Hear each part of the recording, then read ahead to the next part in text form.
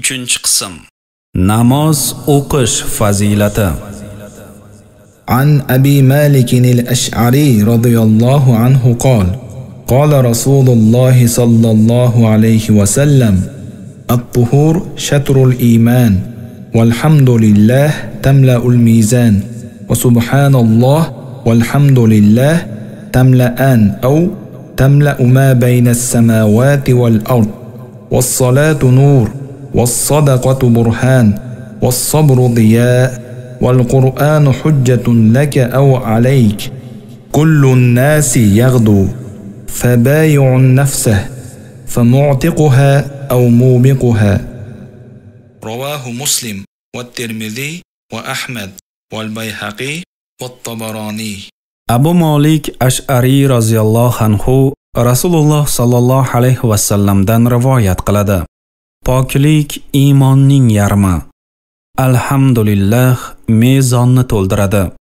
Subhanalloh va alhamdulillah osmon bilan yer o'rtasini to'ldiradi. Yoki to'ldiradilar. Namoz nur sadaqa hujjat sabr ziyodir. Qur'on sening foydangga yoki zararingga hujjatdir. Har bir inson harakat qilib o'zini sotadi yo Alloh roziligini istab oxiratni afzal bilib uni qutqaradi yoki shaytonga nafsiga qul bo'lib o'zini halok etadi. Muslim termiziy ahmad bayhaqiy tabaroniy rivoyat qilgan. Ushbu hadisning mavzuyimizga tegishli qismini sharhlaymiz. Namoz nur ya'ni namoz o'qigan banda yuzidan nur yog'ilib turadi. Namoz kishini masiyatdan buzuq ishlardan saqlaydi. Namozning savobi qiyomat kuni bandaga nur bo'ladi. Namoz qalbni munavvar qiladi. Ochilmay qolgan haqiqatlar botiniy jihatlar kashf etilishida namozning o'rni beqiyos. Namoz qabrni nurga to'ldiradi.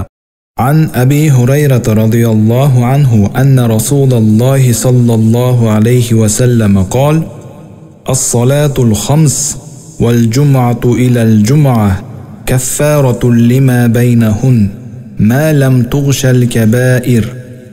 رواه مسلم والترمذي وابن ماجه وأحمد والبيهقي. abu hurayra roziyallohu anhudan rivoyat qilinishicha rasululloh sollallohu alayhi vasallam shunday deganlar. Besh mahal namoz juma kelasi jumagacha oradagi gunohlarga kafforat bo'ladi. Faqat kabiralardan saqlanilsa. Muslim termiziy ibn moja ahmad bayhaqiy rivoyat qilgan. Namoz o'qigan kishining avvalgi gunohlari yuviladi. Agar besh vaqt namoz o'qsa gunohlardan to'liq poklanadi. Faqat buning bitta sharti bor. Katta gunohlardan tiyilishi lozim. Ya'ni Alloh qaytargan katta gunohlardan yiroq yurilsa besh mahal farz namozi haftada bir ado etiladigan juma namozi bandachilik bilan yo'l qo'yilgan sahvu xatolarga kichik gunohlarga kafforat bo'ladi. G'ibat, tuhmat o'g'rilik zino riboxo'rlik kabi katta gunohlar kechirilishi uchun chin dildan tavba qilish istig'for aytish haq egalari roziligini olish o'sha gunohni boshqa takrorlamaslikka qat'iy ahd qilish shart. Bu hadisdan namozxon kichik gunohlarni bemalol qilaversa bo'ladi yoki bir marta jumaga borsa har qanaqa gunohlari kechiriladi degan xulosa chiqmaydi. Banda xatodan xoli emas. u gunohdan saqlanishga harchand uringan taqdirda ham ojizlik qilib qandaydir kamchilikka yo'l qo'yadi ana shunday gunohlar namoz bilan yuviladi bu Allohning rahmati bandalarga bergan imtiyozi undan qanday foydalanish har kimning o'ziga bog'liq عن أبي أيوب الأنصاري رضي الله عنه أن النبي صلى الله عليه وسلم كان يقول إن كل صلاة تحط ما بين يديها من خطيئة رواه أحمد والطبراني وسنده حسن abu ayyub ansoriy roziyallohu anhudan rivoyat qilinishicha nabiy sollallohu alayhi vasallam albatta namoz o'zidan avvalgi gunohlarni to'kib yuboradi deb aytardilar ahmad tabaroniy rivoyat qilgan hadis sanadi hasan namozxon gunohlardan qanday poklanishi quyidagi rivoyatda batafsilroq ifodalangan عن أبي ذر رضي الله عنه أن النبي صلى الله عليه وسلم خرج زمن الشتاء والورق يتهافت فأخذ بغصنين من شجرة قال فجعل ذلك الورق يتهافت فقال يا أبا ذر قلت لبيك يا رسول الله قال إن العبد المسلم لا يصلي الصلاة يريد بها وجه الله فتهافت عنه ذنوبه كما يتهافت هذا الورق عن هذه الشجرة. رواه أحمد وسنده حسن لغيره.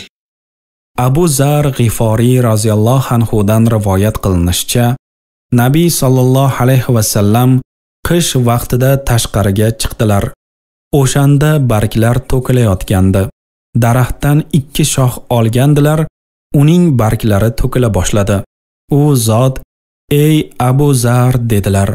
Men labbay yo rasululloh deb javob berdim. U zot agar musulmon banda Alloh roziligini istab namoz o'qsa, mana shu daraxt barglari kabi gunohlari to'kiladi deb marhamat qildilar. Ahmad rivoyat qilgan. Rivoyat sanadi hasan li g'ayrih salmon forsiy roziyallohu anhudan rivoyat qilingan hadisda aytilishicha musulmon kishi namoz o'qiyotganida gunohlari boshiga ko'tariladi. Har safar sajda qilganida to'kiladi. Namozdan chiqqanida gunohlari butunlay to'kilgan bo'ladi. Namoz bilan gunohlar yuvilishi Allohning fazli. Lekin mana shu hadislarga ishonib qolib istagancha gunoh qilib keyin bir marta namoz o'qib qo'ysa qancha gunohi bo'lsa ham yuvilib ketarkan deb o'ylash noto'g'ri. Bu yerda bilib bilmay qilingan gunohlar kechirilishi nazarda tutilgan. Har banda holi o'ziga ayon. U gunohdan saqlanaman degan taqdirda ham bilimsizlik yoki zaiflik sabab xatoga yo'l qo'yadi. Mana shunday nuqsonlar namoz bilan tuzatiladi. Hozir gunoh qilaveray. Namoz o'qib qo'ysam olam guliston. Hech narsa bo'lmaganday hammasi iziga tushib ketadi degan odam o'zini aldagan bo'ladi. Chunki biron ishning gunohligini bilib turib ataylab Allohga osiy bo'lishdan ma'siyatni yengil sanashdan yomoni yo'q. Qolaversa osiy banda hali namoz o'qishga tavba qilishga ulguradimi yo'qmi? Masalaning bu tarafi ham bor وعن أبي هريرة رضي الله عنه قال قال رسول الله صلى الله عليه وسلم الصلاة خير موضوع فمن استطاع أن يستكثر فليستكثر. رواه الطبراني في الكبير وسنده حسن لغيره. abu hurayra roziyallohu anhu rasululloh sollallohu alayhi vasallamdan rivoyat qiladi namoz Alloh tarafidan joriy etilgan eng yaxshi ibodatdir shunday ekan kim ko'paytirishga qodir bo'lsa ko'paytirsin tabaroniy kabirda rivoyat qilgan hadis sanadi hasan li g'ayrih Allohga qurbat, yaqinlik hosil qilish uchun namozdan afzal ibodat yo'q. Kim imkonini topsa, ko'proq nafl namoz o'qsin. Allohga yanada sevimli banda bo'lsin. Ma'lumki, namozda jismoniy harakatlar bajariladi.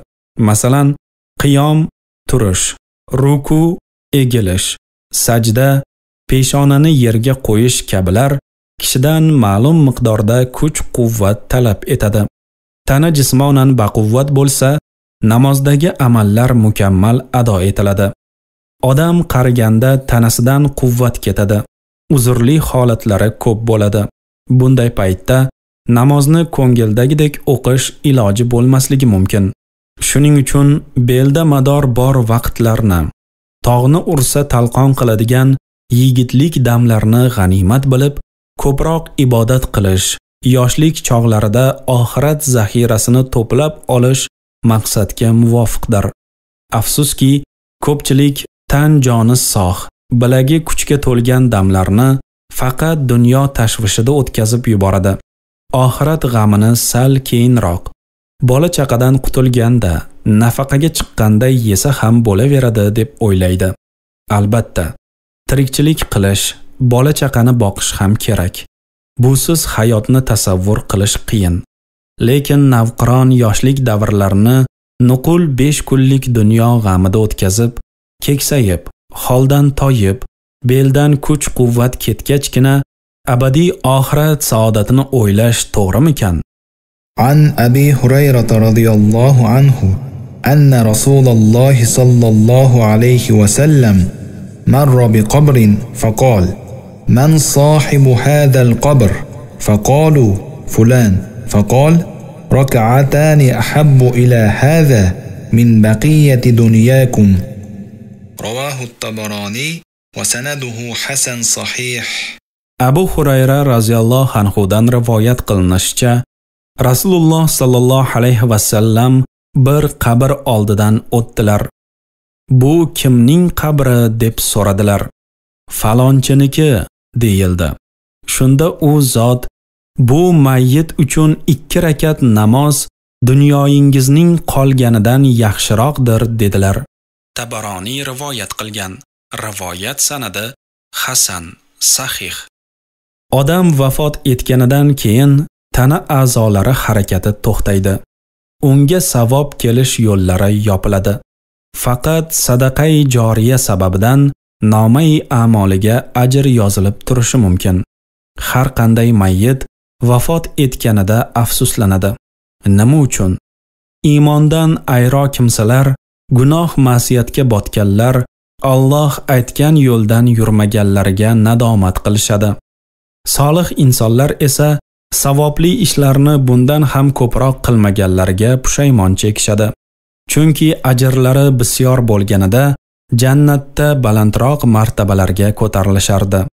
Ha, dunyodan o'tgan inson uchun aqalli 2 rakat namoz o'qish ham bir marta subhanalloh, alhamdulillah, Allohu akbar deyish ham armon bo'lib qoladi.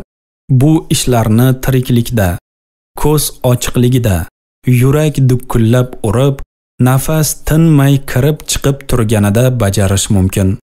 Boqiy dunyoga rihlat qilgach, amallar daftari yopiladi. O'limdan so'ng faqat hisob kitob bo'ladi.